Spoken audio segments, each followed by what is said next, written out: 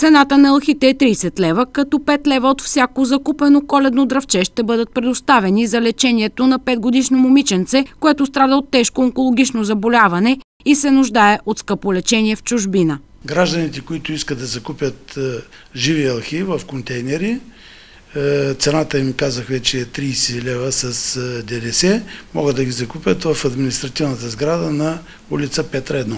11 детски заведения в Шумен ще получат безвъзмезно коледни охички като подарък, каза още Тодор Геронтиев. В благотворителната инициатива се включват всички горски стопанства в обхвата на Североизточното държавно предприятие.